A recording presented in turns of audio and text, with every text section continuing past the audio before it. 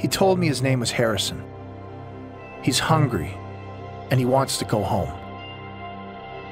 I told myself it was only a matter of time before he'd be dead and I'd be on my way. If only it were that simple. We're four systems away from my home planet. Nearly two to the next communications relay, he said. That's the only way anyone's gonna know I'm still out here. It wasn't long before we started to see the smoking ruin of the Valen fleet. Judging by the destruction we had witnessed, there was almost no odds of survival.